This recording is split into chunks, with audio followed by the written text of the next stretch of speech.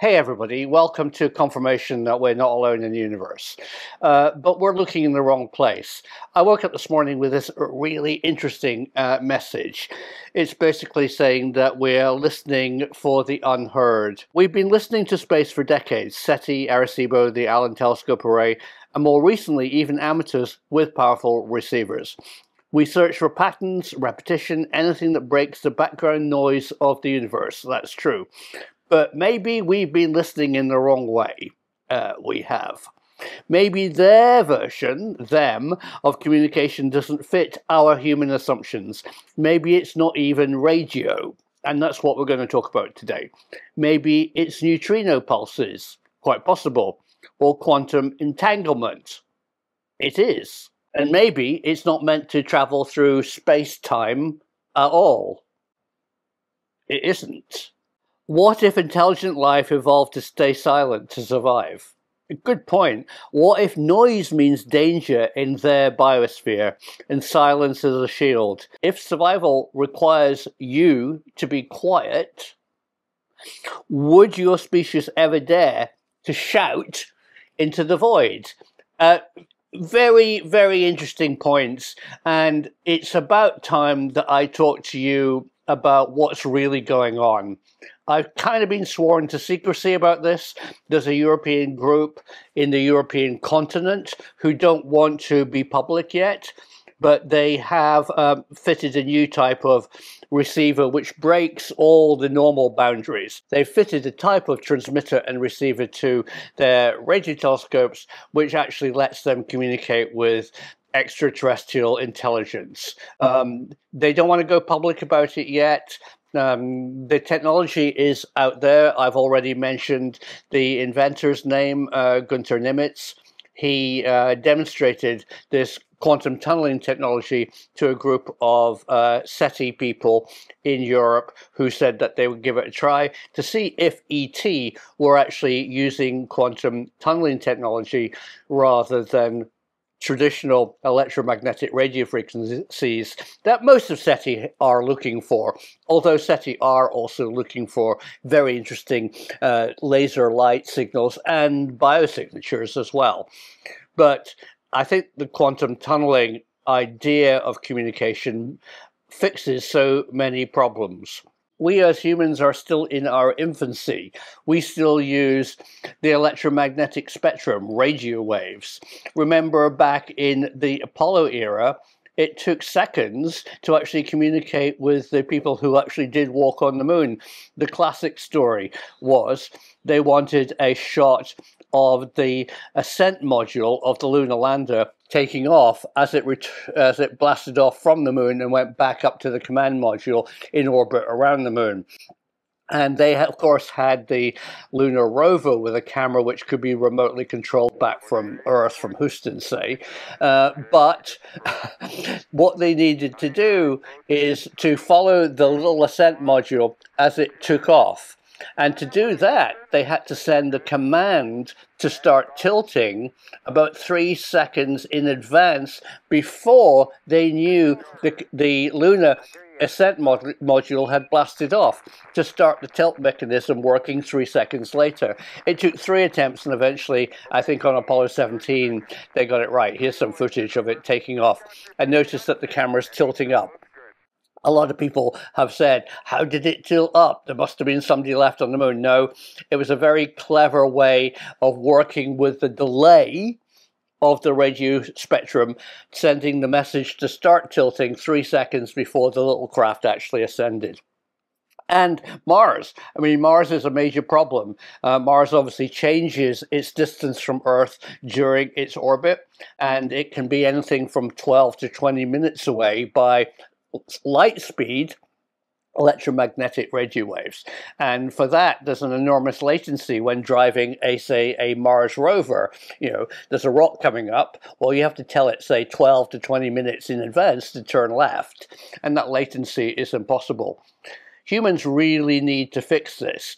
Uh, radio waves and radio communication only works effectively over a few thousand kilometers. As soon as you get into space distances, space time distances, you're actually coming across the boundaries of the speed of light. And uh, it, the latency becomes ridiculous. Um, in a previous film, I talked about latency in flying drones. Um, drones are often flown from a base maybe a thousand to five thousand miles away, and they're controlled by operators with joysticks and uh, cameras looking down on the battlefield and the signal is sent from, say, Omaha, Nebraska, up to a satellite, and then from the satellite, which is thousands of miles away, and then back down to the drone, and then the return signal goes back to them. Well, that is no good if you're a pilot. The latency in turning the control surfaces, the ailerons and elevator of a uh, of a of a drone just wouldn't work. You would be so behind the loop that you couldn't do something like land it because you'd be a few seconds uh, in uh, in delay to the actual craft moving. The FAA have announced that there is a maximum of 20 nanoseconds as a latency for remote control vehicles. Anything more than that, the human brain just can't cope with that delay from putting the input in and the actual craft moving. So the military absolutely desperately need faster than light communication. And I'm sure they've been working on it. I mean, if you want to fire a gun remotely and a bad actor comes into view, you don't want to press fire, bang. No, you need to fire it and it bangs. But that requires, at a large distance, even on Earth, faster than light communication. And the best way of doing that is by getting out of the realm of physics that we live in, that we perceive of the light and photons and the electromagnetic wavelength, and enter the quantum world, the quantum world being a subatomic world where everything is connected. There is no space time. Space in this quantum world doesn't exist as space, it's all connected. So a planet a million miles away is as close as a, a, an atom, which is a nanometer away. There is no difference. Um, the way that you could make quantum communication work is by my analogy of using a rod. So imagine I had a very, very long piece of metal that is poking to the planet Zog, and I push it at one end. The end of the rod at planet Zog will poke out as soon as I push it. There's no kind of compression or delay. As soon as I push it, it appears at the other end. And that's what quantum tunneling does, what quantum communication uh, definitely does do. It's been proven to work um, scientifically. Whether it's being used by the military or by SETI is another debate. But quantum tunneling communication isn't faster than the speed of light. Never say that because it's not in the physics that we normally inhabit. It's not in the world of electromagnetics. It's not in the world of photons. It's in the quantum world. So it's not faster than the speed of light. It's instant. Now, the problem with quantum tunneling communication is that it's not encryptable because when you send out a message into the quantum world, the probability of it being picked up anywhere in the entire universe exists. So it's not like point to point communication. The only way to encrypt quantum communication is to encrypt the message. The actual transmission cannot be encrypted because it is omnipresent. And, you know, obviously military have to work on that. But back to SETI. Um, so this guy, Nimitz, demonstrated in a university in Germany that the quantum tunneling technique works. He did it in the lab. His undergraduate students have copied it many times. You can do it. The signal enters and exits his transmitter and receiver with an air gap in between instantly, faster than light speed. In fact, it's instant. As soon as it goes in, it's coming out. So there is no delay, and that gap between the transmitter and the receiver can be infinite because there's a probability of it being received anywhere. Uh, you need to have the right equipment to make it work, but if you do have that, it overcomes an enormous hurdle. If you were speaking to um, an extraterrestrial race, say 100 light years away, at, with radio waves, first of all, you'd need a hell of a big transmitter to send out a focused beam to, say, Earth, and it would take 100 years to get here. We would maybe pick it up and say, oh, hi, how are you? And it would take that would take 100 years to get back. That just doesn't work. If you're a super intelligent extraterrestrial race, you need to communicate instantly and not have that uh, barrier of space-time. And the way around that is don't work in space time, work in the quantum universe, which is entirely connected, connected through space, time, and also uh, the future and the past, which uh, we've talked about with distant viewing. So these people fitted um, initially, I think, quantum tunneling receivers to their radio dishes somewhere in the European uh, area and picked up um, extraterrestrial intelligence who were using it. Um, and supposedly they then managed to fix up a transmitter and beamed a signal to these extraterrestrials. This is where it gets really interesting. The person who is involved in this project said, and it's very, very interesting what he said, is that utilizing the Gunter Nimitz quantum tunneling, transmitting and receiving technology is tiny as a problem compared with understanding the communication. He told me this story. Imagine you were a German school and you had a kid who was a Inuit from um, the Arctic came to visit and doesn't speak German and you don't speak Inuit language you could still communicate with that kid by showing them a ball because probably the person from the Arctic had come across a spherical object that they played with. Now, the problem he said with talking to these extraterrestrials that he claims that communication has been opened is that they don't have any any source of reference. They don't know what a sphere is. They don't know what blue is. They certainly don't know what a ball is. There's no communication. There's no mathematics. There's nothing. There is no common ground. So how do you open channels to something, to a creature that has no reference to you?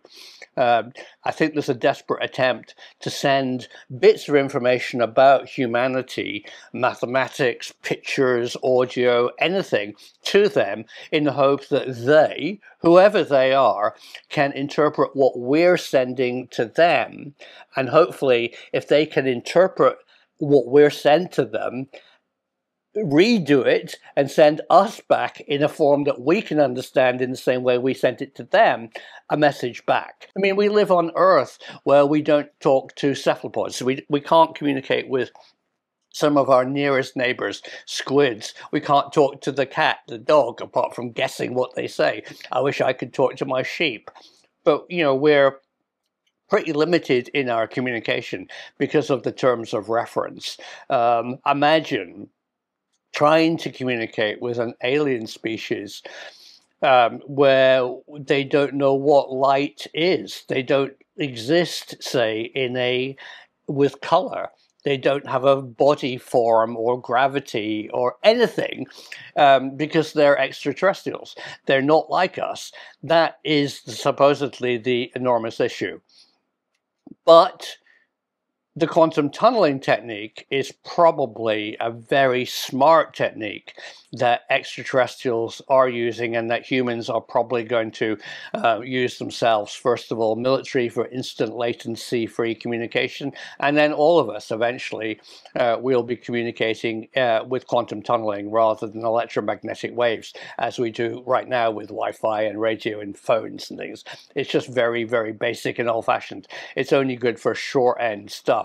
Long distance space time communication needs other techniques. And the other other source of SETI information, which I'm getting, is that somehow extraterrestrial intelligences use neutrinos. There is a connection between these incredibly small particles which have no charge, which pass right through Earth, um, uh, and billions of them are hitting us and the Earth all the time. Is there a way of encoding a signal into a stream of neutrinos? And there's a facility in the uh, Antarctic, a big neutrino laboratory who are looking for wave patterns, looking for information which might be encoded in the amount of neutrinos that they're detecting. Um, again, it might be a source of extraterrestrial intelligence communication. So let's um, not just look at the night sky with our eyes. Let's not listen with our ears. Let's, let's not just use radio telescopes although they're all useful basic tools, let's think out of the box. Let's use quantum communication. Let's look at neutrinos. Uh, let's look at very, very quick sub um, nanosecond light pulses. You know, that's possibly lasers uh, are used for shorter distance communication by extraterrestrials. There's some evidence that there's a number of lights, very short duration light flashes, which have been observed, which might be a, uh, a, a, an extraterrestrial intelligence out there or a natural form, we don't know. But I can't wait to bring you more um, information about the quantum tunneling um, experiment, which is going on Eh, they want to keep it really quiet right now. Um, when you understand who they are and why they're doing it, you'll understand why they're keeping quiet. Uh, but they know about me. They know about this channel. They know that I like to spread that kind of word, and they are more than prepared to work with me when the timing is actually right. So viewers, you know, stay tuned. I have a lot of contacts. I'm old. I've worked in with a lot of scientists all my life. People trust me. People share stories with me. Um, uh, I, you know, I'm not a conventional media outlet. You will hear on channels like mine and other channels who are prepared to talk about emerging science and not just peer-reviewed science interesting stories about things which are about to happen. And uh, I think you need to subscribe and stay tuned to me um, because you are going to hear more about how we might well be today having quantum tunnel communication with an extraterrestrial intelligence because the truth really is out there.